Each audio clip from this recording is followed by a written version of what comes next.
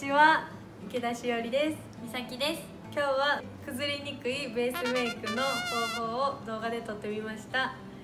えっと、この夏ちょっと汗をかいてしまったりとかでベースメイクが崩れる方とかに向けて、えっと、しっかり崩れないベースメイクのやり方を撮りましたので是非参考にしてみてください。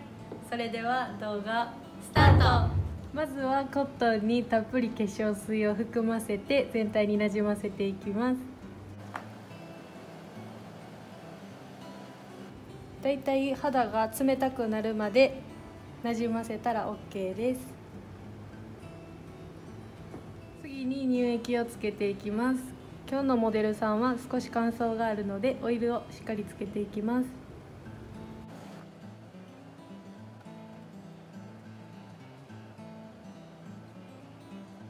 にベースに移る前に5分ぐらい放置するか時間がない場合はこちらのティッシュを使って少しオフしていきます。あまりベタベタしすぎると次に塗るファンデーションのなじみが悪くなるので少しだけオフしていきます。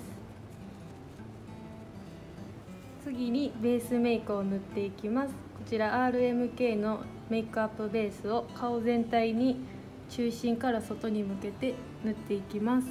ワンプッシュずつつけていきます。こ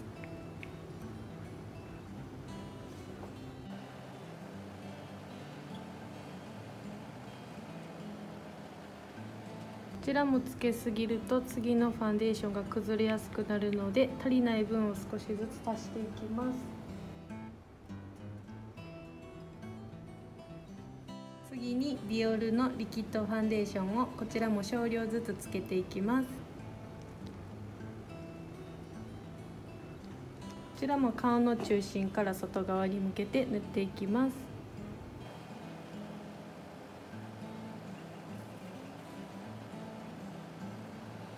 にパフでしっかりなじませていきます。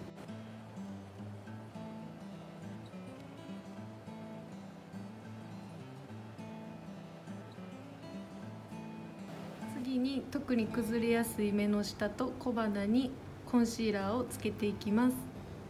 本当に少量で大丈夫です。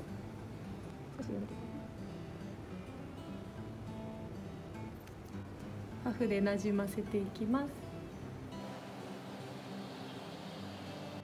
ちらは少し叩き込む感じでつけるといいと思います。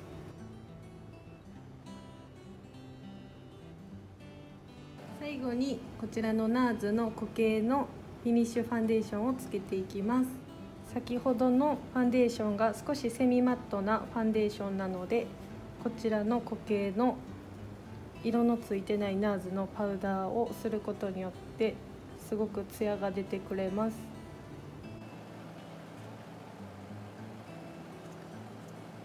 後に特に崩れやすい目の下と小鼻にコスメデコルテのパウダーをしっかりつけていきます。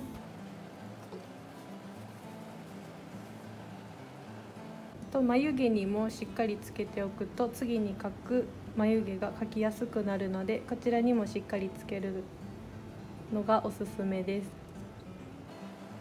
こちらがベースが仕上がった状態です。この後営業に入って本当に崩れてないかチェックしてみます。